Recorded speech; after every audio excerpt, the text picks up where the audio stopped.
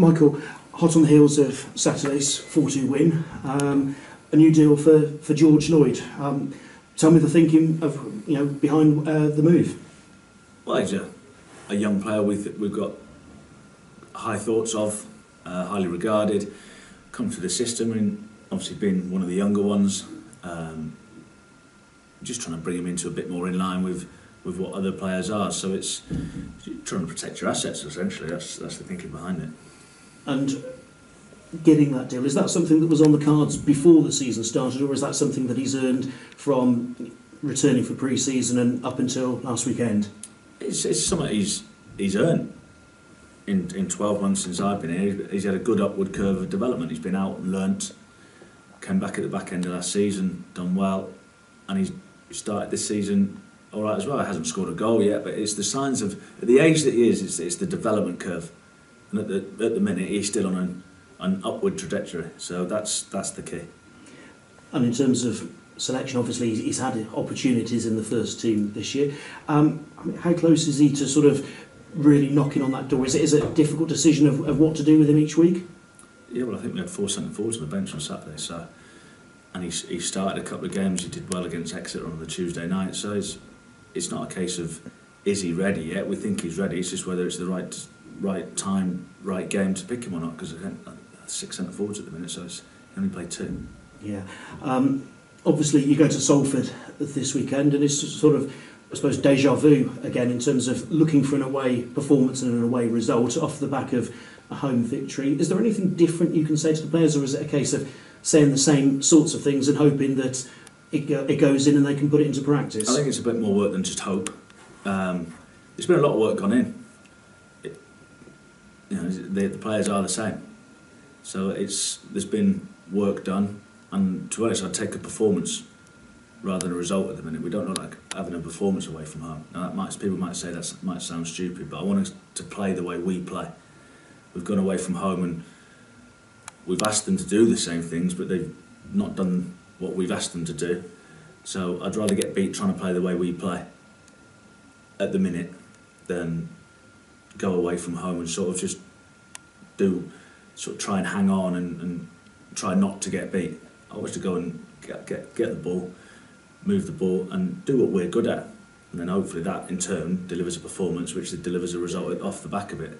So I think that's the key, it's having the bravery to take the ball, not dropping out into certain positions, then whacking it, because that's no good for nothing. We don't, A, we don't win the game, we don't keep a clean sheet, and we don't look like a threat. So that that's, that's and is, there's, there's a big mental side to it as well. But I thought we got rid of our away record on Tuesday night at Slimbridge. I, th- I think we're fine. Absolutely, and Alex Addai scored a couple of goals that night. So, um, how good is that in terms of his return to fitness and just sort of you know back in the groove? Well, three goals in two games against different types of opposition. Alex needed minutes. He was short of minutes. Um, he hadn't played a 90 till until pre-season, so that's why he played in the game. No, no other reason other than that. That's why he came off to 70 minutes because we didn't, you know, going into Saturday. There's a chance he might play on Saturday. So, and it was good because it's difficult to come from where he did. He's come on in the league and scored, and then he's got to go and play with respect Slimbridge with pretty much youth team players. But his attitude was top class. Um, and he got results for his hard work and his and his endeavour. Salford obviously have come into the league. What what have you made of, of their start so far?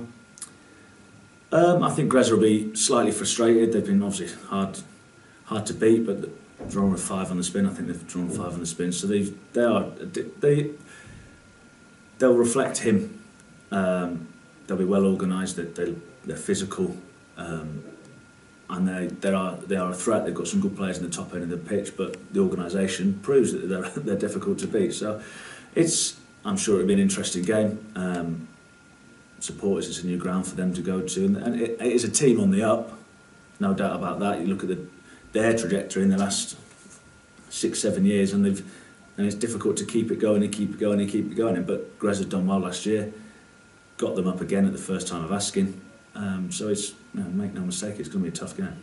And as well as them being difficult to beat, does the five draws also show you how difficult it is to get wins in League Two? Well, I tell our players that all the time. It's not easy to win a game of football. To win a game of football, a lot of people need to turn up and deliver, and sometimes need a little bit of luck. and it's blood, sweat, and tears added with quality. So it's not supporters might think there's a lot of work goes into winning a game of football during the week and on a Saturday. So it's it, it is tough. We need to go and win away from home. That's the key. Injuries, obviously, you've had nearly a spine of the team out in recent weeks. Are any of those players who have been on the sidelines getting closer now? Um, I think Max Sheaf would be closer. I think he'd be ready to start, but he might be available.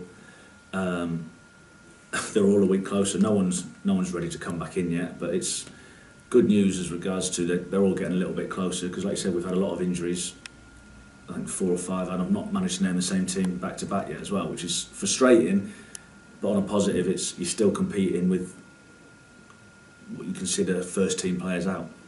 And as you said, you've got all those strikers on the bench. I mean, the bench has almost been a goalkeeper plus strikers of, of the last couple of games, hasn't it? Does that sort of how much flexibility does that give you if you need to chase the game, which obviously you don't want to be doing, but if you have to?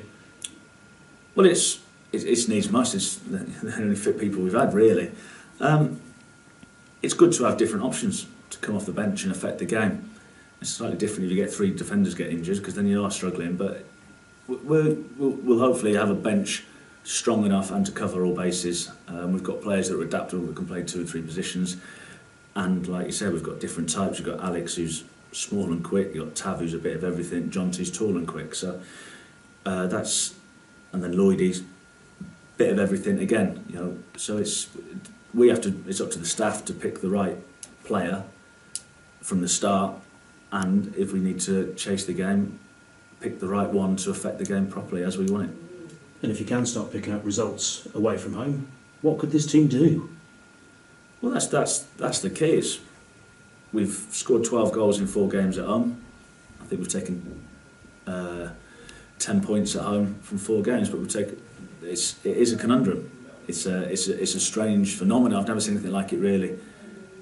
Such a disparity between home and away with the same group of players playing the same formation, but if we can start winning away, the key is you've got to keep winning at home. Ultimately, you, want to pick points up that's all we're trying to do, to pick up as many points as you can. Ideally, you pick them at home and away, but if you were to get 70 points all at home, then you take them. It's, it's, it's a points collection, it's not a home and away thing. But contradiction is we, we would like to start picking up a few more away wins. You agreed you just want all points everywhere, don't you? Yeah.